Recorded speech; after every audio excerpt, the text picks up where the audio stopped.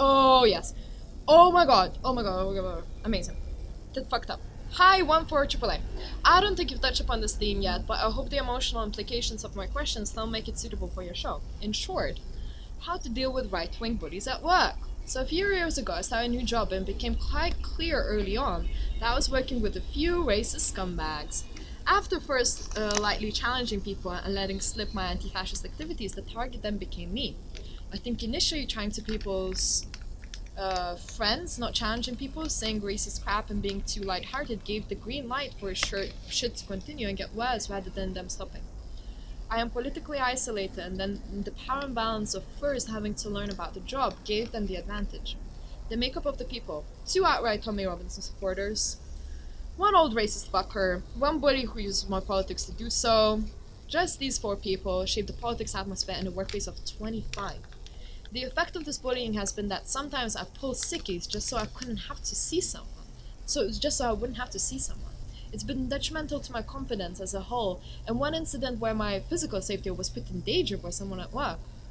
The diversity of people you might see as allies are non existent here. If you don't like football and don't have a missus, you're an outsider. In the years I've worked here, I've learned you can't compromise your beliefs and pretend not to hear things. When debating with people, you have to call out personal attacks as a result of not having a fully formed argument. Even writing this out and thinking about things over the past few years has made it clear to me that they were bullying me and fuck these dickheads. I really look forward to what you have to say and hope you can help anybody in a similar situation. You absolute fucking babe, man. I just like wanna Hug you. hug you and Kill just your coworkers. kill your coworkers, but also just like, do you know how fucking difficult it is to stay still, like in your positions like that when all of this pressure is behind you? I'm thinking again, like about my Russian relatives and all that stuff, how they succumb to shitty politics just because everyone else does, and so this person is not doing that. Yeah, and you've been there for years. Like, you didn't leave after a month, which is what I would have done. Like, that Well, but then-. But that's the thing. The obvious, and that's probably what you think. The obvious answer is like, oh, just change the jobs. But like, there must be a reason why that's not happening, right? Because like, it is clearly probably either it's a small place, either like there must be something that's stopping them Yeah. from that. But also, like, from the makeup, it sounds like it's possibly, like, maybe I'm just making a judgment, but, like, a very, like, working class work environment. well, exactly. Yeah, which yeah. means they possibly can't leave for financial reasons or whatever, like, which I understand. So there are two ways of answering this, right? Like the first one, and I think the thing is that I think you're probably gonna know a lot of the ways we're gonna tackle this is that like so I'm a big believer and an organizer in the trade union movement, and I think basic and I know for a fact that bullying at work is something that the good trade unions do take very seriously.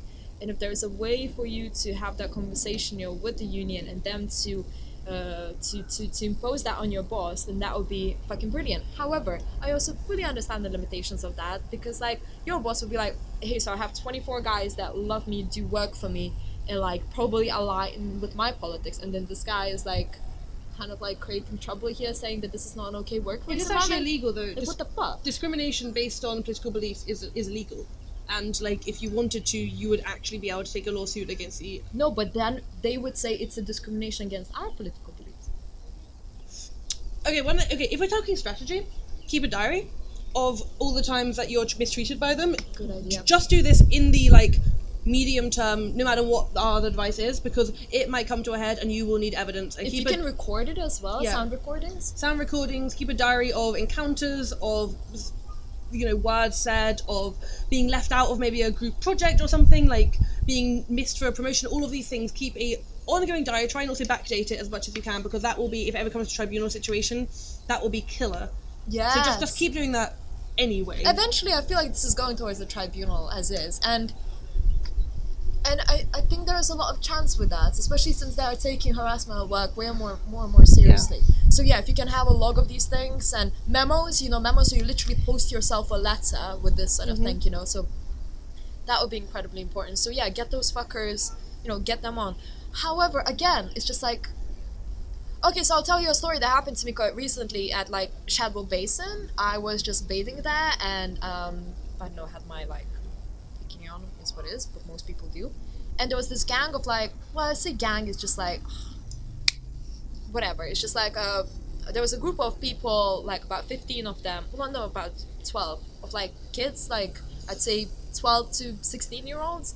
Um, and two of them became like violently, violently, ugh, began utilizing language towards me that was quite violent. Um, violently misogynistic, literally saying to their friends two meters next to me about how they would rape me in these sort of ways and what they would do to my body. Uh, I mean, again, they were kids, and I, you know, didn't have much to do except for move to the other part of the particular space, you know. But what what happens that I realized that there were two people that were instigating this, and then the rest were, Yeah. you know, the the rest were following because that's that's that's their status quo. That's what I was thinking. A workplace of 25, right? And this is four people. That means there's 20 potential.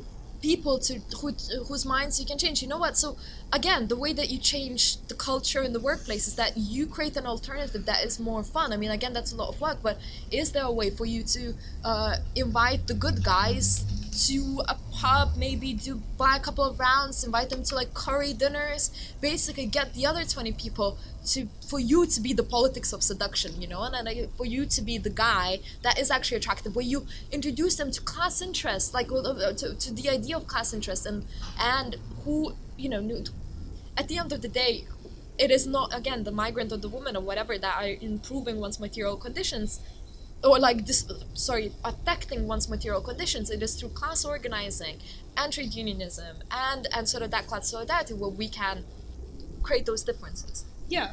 And also in low medium term, if you don't feel like, um, like I think that's very important to do. But I also think to be able to bring up those issues, like befriending in a casual sense, just as you, and not the, and I'm not saying hide your political views, but like you, you have other interests, like be it sport, be it video games, be it gardening, be it knitting, like talking, like yeah, going out for pizza with some of the other co-workers, maybe in a group of two or three or four or whatever, Yeah. and like talking about your other things, making them like you, because even Yeah. if they don't know your politics, if they like you as a person, they're much less likely to let this happen. Like, I don't know what your relationship with the other twenty. You seem you you speak as if they are kind of irrelevant, but are influenced by these, guys. Probably they're also fucking scared by these guys. At least some Yeah. of them, like they're not a, a mass of twenty the same people. Like, they're scared or they're vulnerable or they want to get on with their job. But you can make them your friend. You can give them a lift home. You can buy them a drink if they look sad. You can, you know, have a chat by the water cooler. Like you can make yourself a person who is the f- a friend, and then you can use that to create an alternative narrative in the office. And like, yeah, even go as far as what Marianne says, and actually like, yeah, organize against them because.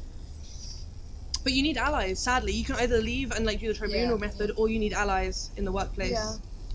Oh my god, this is and when I left that space at the end, you know, after being so um, useless at well, not useless, but like What are you meant to do with the kids though? well, but I will be. I will be lying if I said that I didn't plan to get that to happen to them actually, because like they need to be afraid.